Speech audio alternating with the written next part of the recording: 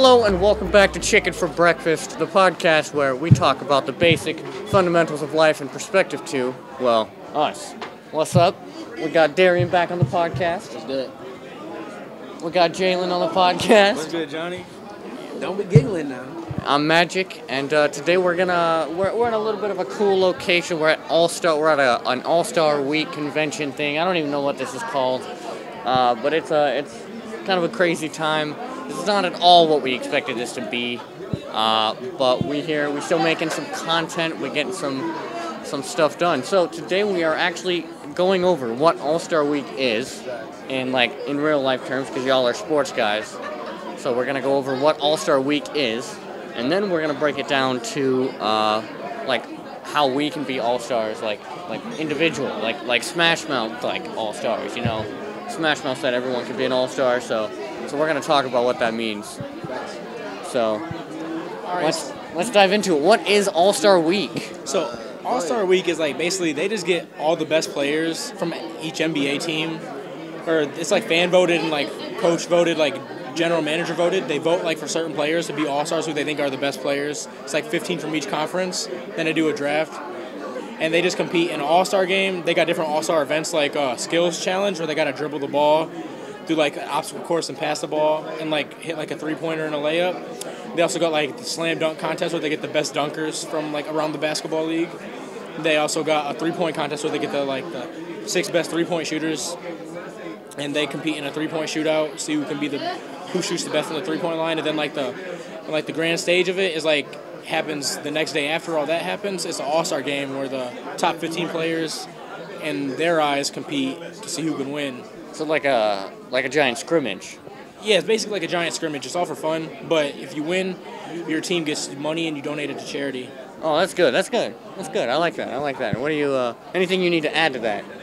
Um, I'm gonna be honest. You kind of ran through the whole thing. I didn't think you was gonna do that. But no, like All Star Weekend is like it's really just for people to have a really good time. They got celebrity games. You can meet some celebrities, whether you're TikTok famous, Instagram famous, YouTube, the whole nine. Uh, it's a great time to be around with family and friends. Come on out, have a great time. Cause let me tell you, them guys, people was funny, man.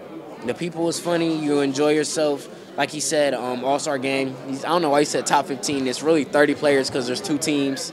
Yeah, but you know, I meant like top 15 from like e- different teams. I, you know what I meant? Like each conference. Yeah, 15 of the- conference. yeah, pretty much 15 of the best conference, and um, you know, you just gotta enjoy yourself. That's really all All Star Weekend is: is experience, enjoy yourself. They don't tell you that it's very expensive when All Star Weekend come, but other than that, it, it sounds like it's lit, man. So, so what's your favorite? I, I know we don't aren't really doing much for All Star Weekend, but what's your favorite thing about All Star Weekend? Probably the All Star game. I don't get it twisted. We love to see like the dunk contest and the three point contest. I don't really care about too much of the uh, skills challenge, all like that. And um, the Rising Star games are always great because you get to see some of the players that are first year and second year players. Um, they're very great and very talented, and then you get to see them play against each other. So it's really nice because it's like this is going to be the future in NBA one day. You know what I'm saying? That's why this the Rising Stars. You know they're hand selected, and it's like you guys are the future. They are looking to be the future of, you know, the league. God Interesting. Interesting. Uh, my favorite would have to be the dunk contest, even though at this point it's repetitive. Like we see the same dunks over and over again from like previous dunks. Yeah, so I don't really rock with it. they they take it from other people, but sometimes it's nice because they like pay homage to people. Like some people do it, like Vince Carter, or like how Larry Nance Jr. He replicated his father's dunk that won him the dunk contest, even though Larry Nance Jr. didn't win, which I thought he should have. But the dunk contest is my favorite because you get to see people pay homage to like the older dunk contest people that like paved the way for these new dunkers. And sometimes you see some different dunks that you haven't seen before. That's true. But I don't think it's not any. Listen, it's not gonna get any better than the Aaron Gordon and Zach LaVine dunk contest Yeah, that's the best dunk dunk contest of all time. that I've ever witnessed with my own eyes on TV. Cause I definitely was going where they was at, cause it cost a lot of money, and we got bills, It was in Toronto. And I still got bills. Alrighty, alrighty. Bills so, don't so All Star Week is essentially just a group of not necessarily um, like people who are already there, already at the top, but like you said, they were rising stars. No, that is that's there's rising stars, then there's all stars. yeah, like they're, they're, Oh, all- okay, they're all okay. gonna be there. So See, the top is- of the be- the best of the best are gonna play against each other, and then the younger people who just got drafted or the second year players that are in the league, they're gonna be the ones that play each other. Okay. In the beginning, and then that's when you got your dunk, your three point contest, your skills challenge, and then everybody knows on Sunday, which is the last day of All Star Weekend, is the All Star game.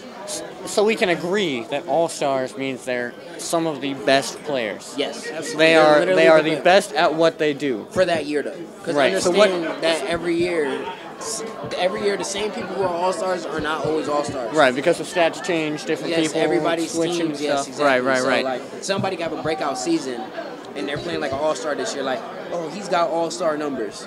You know what I'm saying? Yeah, yeah, So yeah. that's why you got a lot of first time all stars this year.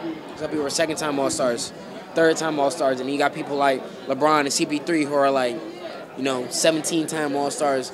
How you been? You've been an all star every year since you've been in the league, but two years, and that was when you were the, a first and second year player. You've been an all star every year after that.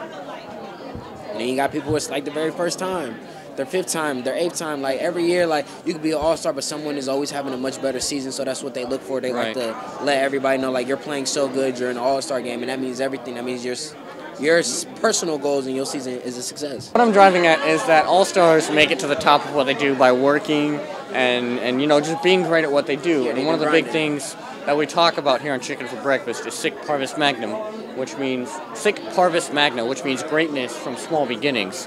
And I think that that's like that All Star Week really really shows that like they started with you know maybe just playing basketball in, in middle school, high school, and then they, they worked up to this point of they're the greatest basketball players in the country. So, so if we look at ourselves as all stars, how can we achieve, like, like what are some steps that we could take to be the best version of ourselves? Because obviously, I'm not where I want to be as a person in my career, and I, I don't want to I don't want to speak for you, but I would almost guarantee that you're probably not either from, from what we've kind of talked about before. So, so what is it that how can we become all stars for ourselves?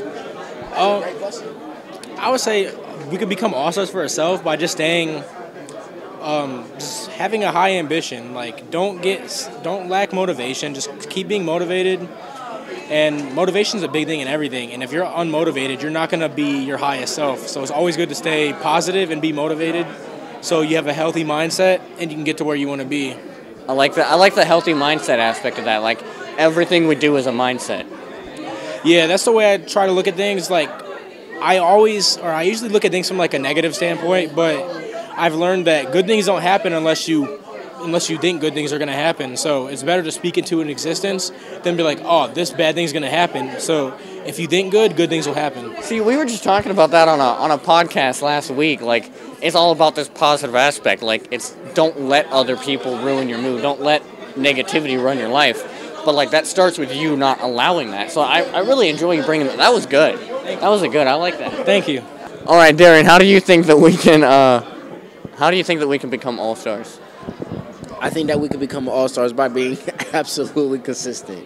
You gotta be consistent, stay dedicated, pay attention to the uh, your goals that you have for yourself.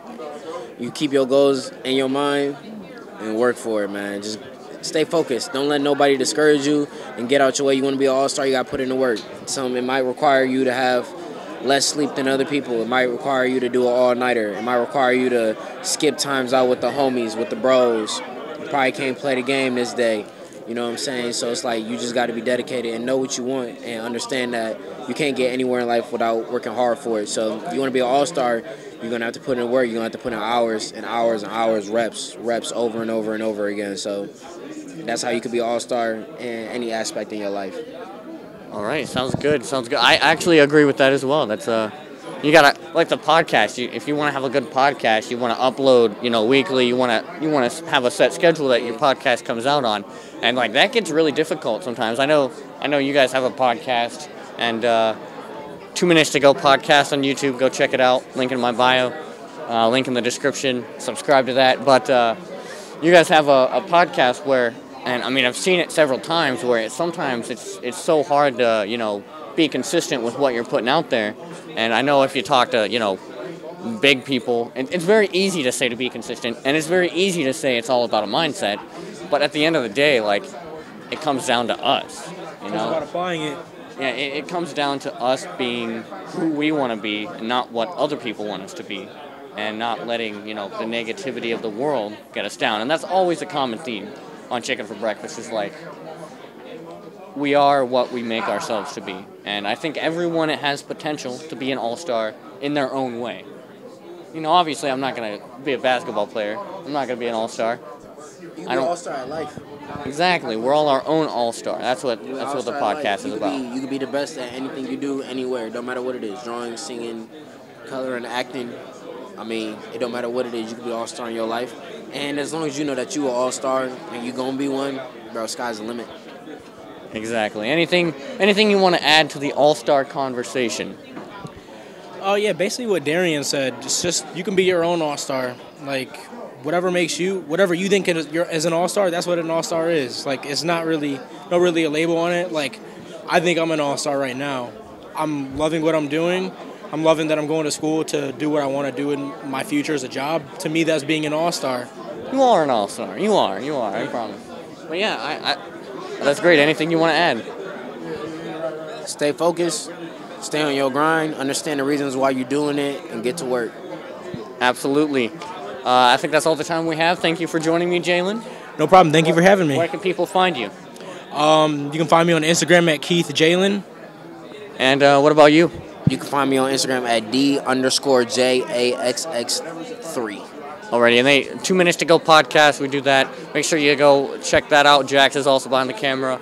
I don't. Yeah, there he is. There he is. He's a part of that podcast as well. So thanks for tuning into this episode, and we're gonna try to get some more content coming at you. Peace.